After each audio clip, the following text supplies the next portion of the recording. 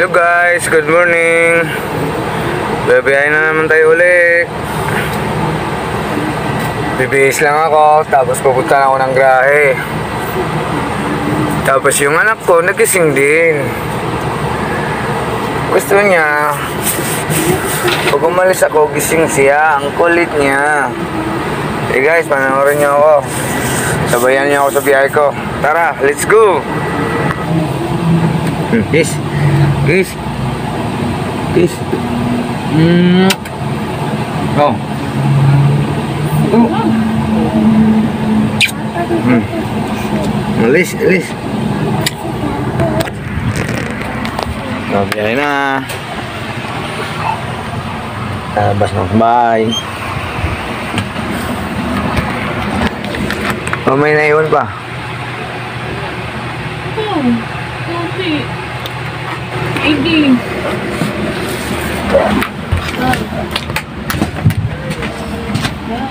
Oh, huwag na open yung gabi na. Oh,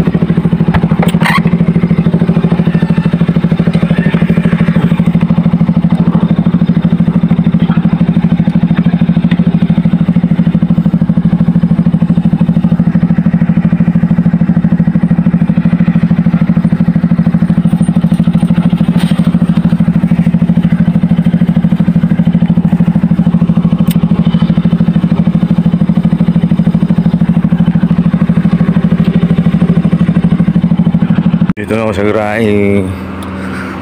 Dito na si Big Boss. I-start natin to para makarga ng hangin.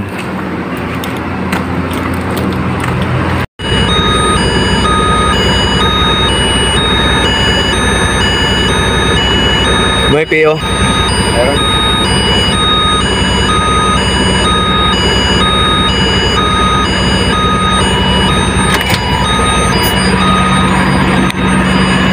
Punta mo sa barang. Eh, Ray Kimura.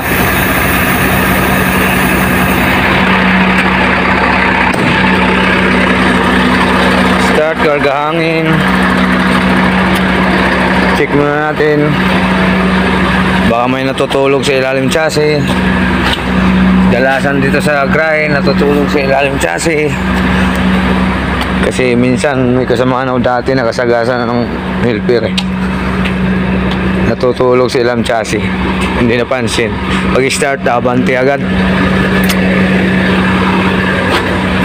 magkal malabo na pa itong ilaw ko dito sa dulo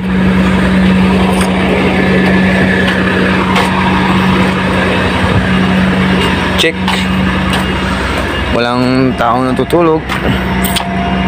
Karga muna tayo ng hangin.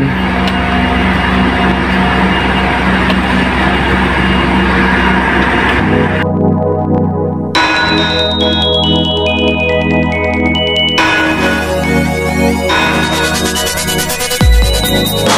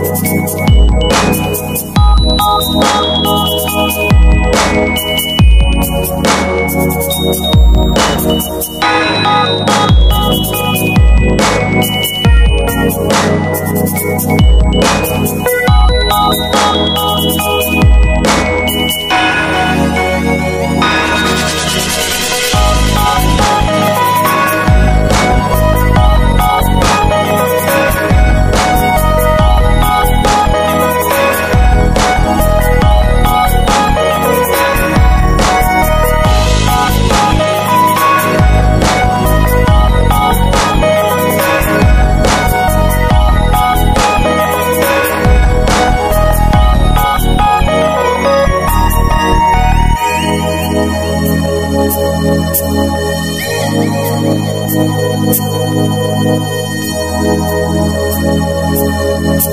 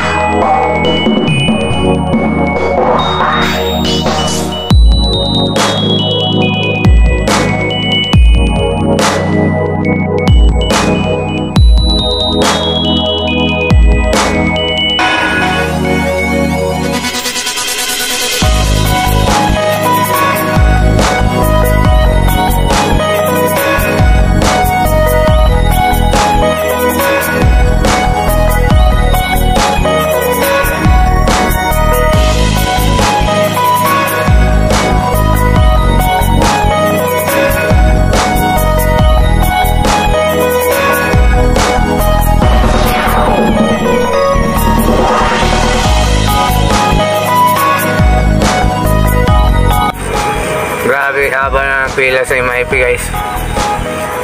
Grabe talaga yung Pilipinas. Pagdating sa mga truckers, kapahirapan pa nila. Oh, grabe haba. Simula si Moriones guys. Hanggang MIP na yan guys. Mga chassis lang yan, mga chassis. Hindi pa kasama loaded dyan. Ganyan ang paghihirap sa mga trucking guys. Tapos yung LG dito sa Manila, nanguhuli. May batas na nga sa DILG na wag kumpitasahin ng lisensya. Kinukuha pa rin nila eh. Hindi pa rin sumusunod tong Maynila na to eh. Tama yung sinabi ni Colonel Bosita. Manila ang matigas ang ulo. Kahit, kahit magastos si Colonel Bosita para lang tumulong dito sa mga driver. Hindi pa rin to nagbabago yung Maynila guys. Hindi pa rin sumusunod sila guys. Tingnan mo guys, ang haba ng pila guys. Hanggang maaga na yun sila. Abutan ng liwanag. Tapos gagatasan ka pa sa mga traffic forcer. Pag nabutan ka ng traffic forcer dyan, gagatasan ka. Maniwala ka sa akin 100%. Ganyan katindi ang Manila guys. Kawawa yung mga kapwang driver guys. Ginagatasan ng mga MTBP. Lalo na doon sa ano, stoplight. Nag-aabang na ng stoplight pag nag, ano, beating the red light. Tapos hindi kompleto papel mo yung pound nila. Di nila alam na may ibang kumpanya na pag na-impound, nikakalta sa driver. May kumpanya din na walang malasakit din sa driver. Tama nga yung sinabi ni Carl Busita. Hey guys, ingat guys. Tara, samahan niyo ako sa biyahe ko guys.